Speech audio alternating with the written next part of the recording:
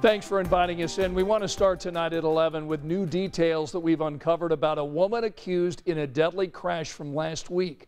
Tonight we've learned this is not her first accident. Police, in fact, think she may be responsible for another deadly crash just weeks ago. Tonight our Rachel Kraus looks into court documents uncovering past problems behind the wheel. A week after an eight car crash claimed the life of an Indianapolis mother, we're learning the woman accused in the crash shouldn't have been driving. IMPD arrested Kelli Anderson this evening on reckless homicide charges. And now, court documents reveal this is the second deadly crash she's been accused of in less than a month. A huge loss. He lives in our neighborhood.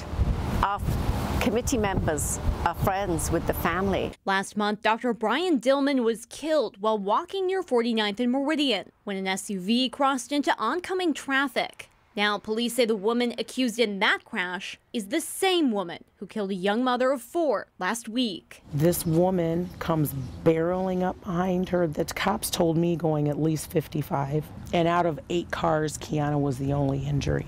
took them two hours to cut her out of the car is what the detective told me. This latest crash happened at the intersection of Keystone and 52nd Street. Several cars were stopped at a light, but the one Kiana Burns was driving took most of the impact. Kiana died of her injuries from the crash. She saved those other people in those cars because she took the hit for everybody. Now, court documents paint a clearer picture of what happened that day. After Anderson told police she takes medication for severe life threatening allergies and epilepsy saying she blacked out. Data from the car found she was accelerating at the time of the crash, and court records show she's been at fault for five crashes since 2019, including the accident that killed Dr. Dillman.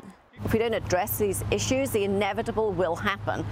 And it's so tragic. My heart, my prayers go out to the family involved. We're all heartbroken. Records from a medical check after that incident indicated doctors told Anderson she was at high risk to herself and others and shouldn't drive for six months unless cleared by a neurologist. Anderson told doctors she understood.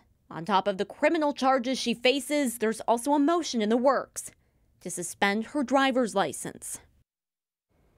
Anderson's blood was tested after the May 19th and June 9th deadly crashes, and we are still waiting tonight on those toxicology results.